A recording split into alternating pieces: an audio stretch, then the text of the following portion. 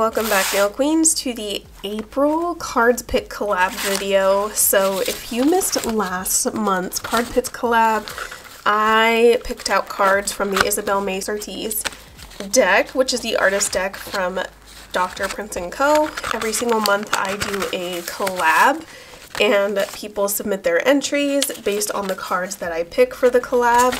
So this month I'm going to do their new deck, which is their spring deck. And I also have the little pastels deck. Ooh, I'm so excited. First of all, I've been obsessed with mushrooms lately, so the fact that there's mushrooms in this, like the artwork and everything, I'm so excited about it. But I don't want to make the intro too long. I want to get ahead straight into picking the art theme and the color palette for you guys.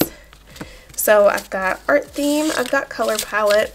There's not a lot of color palette cards in this expansion pack, which I think I like because I love the diversity in the art theme the most.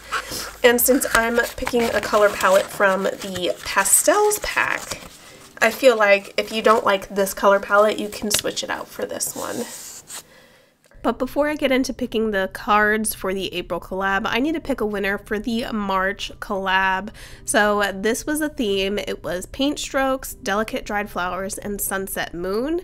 So I'm going to look up all the uh, images. I found seven entries total from Instagram and my Facebook group.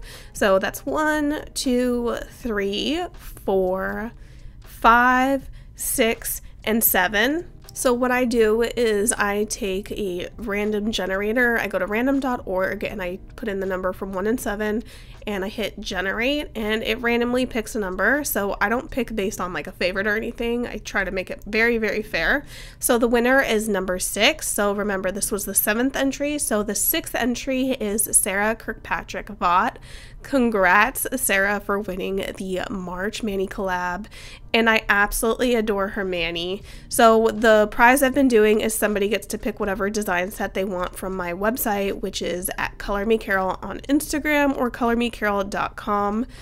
So if you guys want uh, to win a design set press on set prize, enter every single month. But Sarah's Mani is so cute. I love that she picked yellow. Yellow has been a very favorite color for me this spring.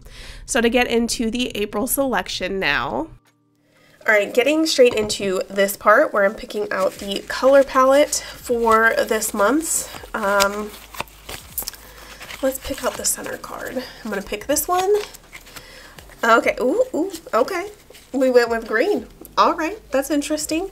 Subtle spring. It's funny because I've been using green a lot in my sets.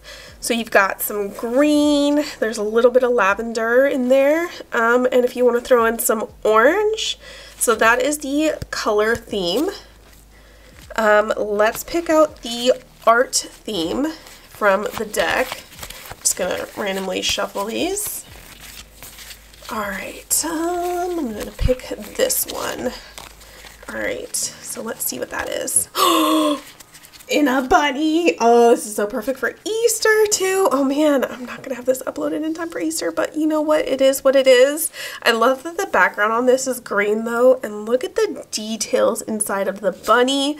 Oh, well, if that doesn't give you like some inspo on what to do for this, then... But if you don't want to do the Subtle Spring color palette, we're going to pick a pastel color that you can pick from. So I'm going to pick this one right here. And that's pastel blue. Okay, so if you don't want to do that one, you can do pastel blue instead. So this month's card pick collab cards are Subtle Spring, Bunny, and Pastel Blue. So remember, the art theme is definitely mandatory. You can use stickers, decals, water slide decals, um, nail art, whatever you want, uh, dots, glitter, however you want to make a bunny dreams come true.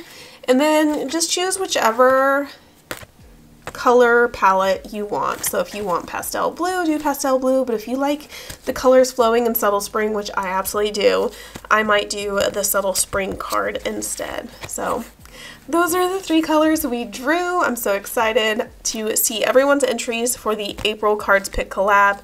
I'm sorry about them like going a little too, um, going up a little too late. Entries are due by April 30th. Um, but I have been sick and haven't been able to get everything up in time. Last month we were planning, like finishing up planning the wedding, so we weren't able to do all of that. Getting straight into the Mani design, the colors I'm going to be using are from the April collection and the March collection from Nail Reserve. They sent both of these collections to me and I didn't have time to show them to you guys last month. So I'm going to be using colors from both and I'm excited to mix them all together.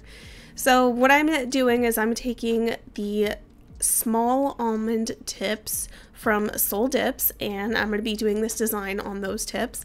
So I love doing press on nails. That's why I have them on this stand and I'm going to do it like that. And I'm using the softest, lightest pink that came from, I believe, the April collection. Yes, it's called Away We Go. And I'm doing two coats of this pink on every single nail. I felt like it was soft enough to do as a base to where I could do nail art on top of it and the nail art would kind of stand out a little, but it would still look subtle.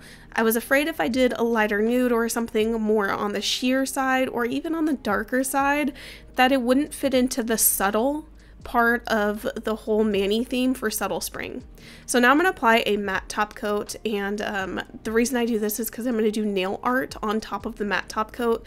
Life pro tip, if you like doing gel nail art, but you notice when you do the nail art on top of like a, a wet gel polish that your gel polish or your gel art is like kind of like diffusing. It doesn't have those sharp perfect lines. Use a matte top coat, cure that in your lamp and then it's going to give you the perfect surface to do nail art on top of. So I'm applying the matte top coat on top of all of the nails. I applied two coats of Away We Go and then a matte top coat, and it's the perfect surface to do what things like French tips or any kind of design that requires you to have more crisp, clean lines. So I want to apologize just right now about the blurriness from my camera. It seems like my camera is focusing on the gloves.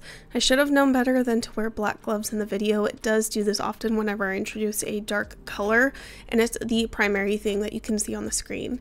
So I do feel like I'm going to be out of focus for the majority of the video and I want to apologize for that for anyone who is like, why isn't this as crisp and as clean? Now I'm going to do the bunny on this nail and I'm just using a dotting tool and painting the head of the bunny.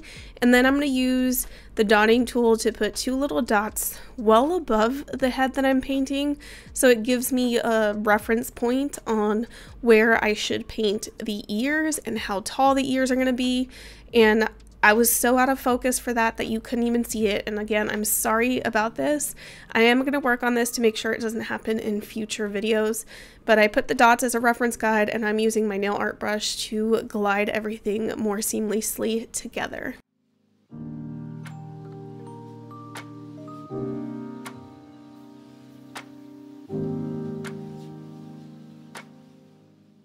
Now I'm moving on into a purple French tip. So I did a green French tips earlier in the video and I did a purple bunny and now I'm doing purple French tips. So if you notice the subtle spring card that I drew for the color palette, that one had a lot of green and a little bit of purple and a little bit of orange. So I'm really playing on the greens and the purples together. I feel like these colors go really, really well together and them paired with the Away We Go base gel polish really are subtle.